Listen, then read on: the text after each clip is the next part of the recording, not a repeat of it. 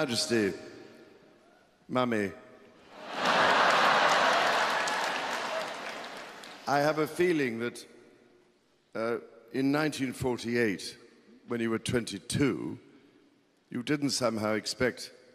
at the age, at your 92nd birthday, to find your son in his 70th year. so, just able still to raise a small hip